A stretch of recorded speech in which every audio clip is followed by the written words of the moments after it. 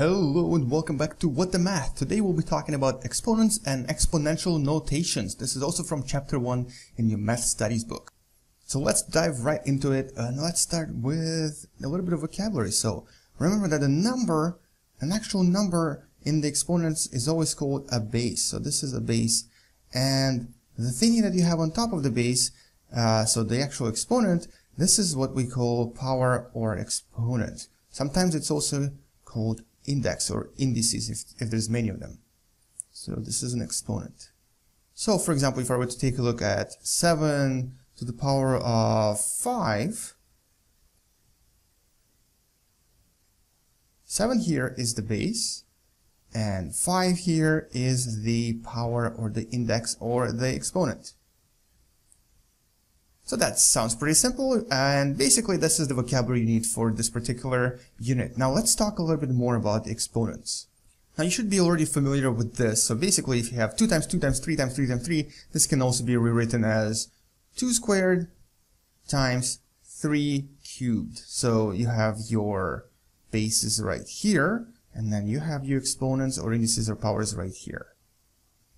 What you might have forgotten though is how to call these things. How do you call these numbers? So for example, if you have this, this is uh, what we call a square. So 2 square or 2 to the power of 2. 2 to the power of 2.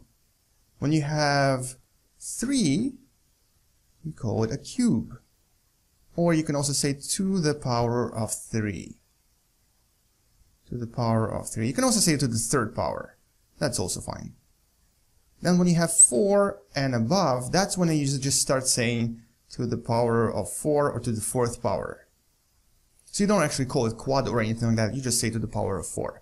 And that's really how we call powers and exponents. Alright, let's talk about something else. Now, since IB is really tricky, sometimes you get negative powers. So for example, what if you get a to the power of negative 2? Which is also you can call it negative square, but usually we just say negative 2. And how would you how would you try to analyze this? How would you rewrite this? So essentially, whenever you have a negative uh, exponent or negative power, all this means is that it's basically the same as having 1 divided by 8 squared. So essentially, this negative exponent just means 1 over something. In other words, let's just look at an example. Uh, let's just say 30 to the negative power of 30. So what do you think this is? This will be 1 over 30 to the power of 30. So essentially just 1 over x. On the IB exam, you may actually see the mixture of two, so you might see something like this. So a to the power of 2 times 4 to the power of 4 times 2 to the power of 6. And it will actually ask you to combine and find the final result. So what do we do when we have uh, several exponents together, when they're multiplied? Well, basically what you do is you have to add them up. In other words, what you'll get is this plus this plus this. But don't get tricked. As you can see here, we have we actually have different bases. Even though there's one common base, you still have to convert these. So let's convert these first. So what is an 8? Well, 8 can also be rewritten as 2 cubed. 2 times 2 times 2. And then 4 can be rewritten as 2 squared. And so basically what you get is 2, 2 cubed. So that's 3 times minus 2 times 2, 2 times 4 times 2 to the power of 6. So as you can see, these powers are now right here. So you have to multiply them by the uh, previous exponent. And what you'll get as a result, 2 to the power of minus 6 times 2 to the power of 8 times 2 to the power of 6, which equals to 2 to the power of minus 6 plus 8, I'm going to put this in brackets, plus 6. And these two 6's cancel out because minus 6 plus 6 is 0, and what you get in the end is 2 to the power of 8. And that's essentially how you deal with exponents when you have to add them up, when, when you have to uh, cross multiply negative and positive exponents. Alright, let's talk about how to do this on a calculator. Uh, so let's take a look at example 8 from page 25 in chapter 1.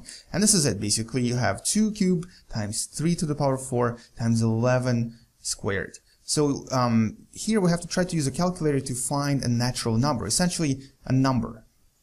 So let's take a look at TI-84 plus Silver Edition. So this is my simulated TI-84. You can see there's a key press history button button thingy here that will show you what keys I'm pressing. Basically turn it on, press the on button. You'll have something like this uh, window that looks kind of like that. If you don't have this, click second and then quit, which is actually a mode button, uh, but in blue it says quit here and this will bring you to this empty uh, window thingy. So let's press the necessary keys. So first is 2, and in order for you to enter exponent, you have to click on this little roofy thingy. Uh, so this, and it will bring up exponent. Now 3, so this is 2 cubed.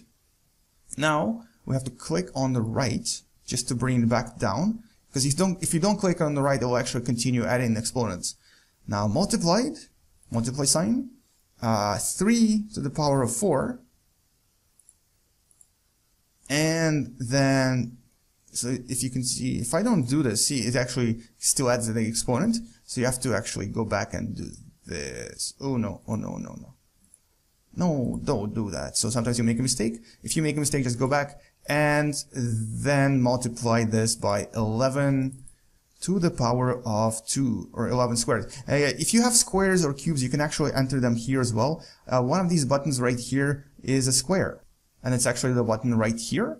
And this will give you square. So squares are usually quite easy to add.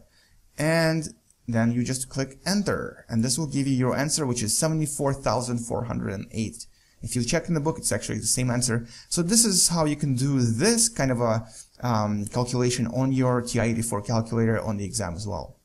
So just to kind of summarize everything, uh, this is the power button, so power 4.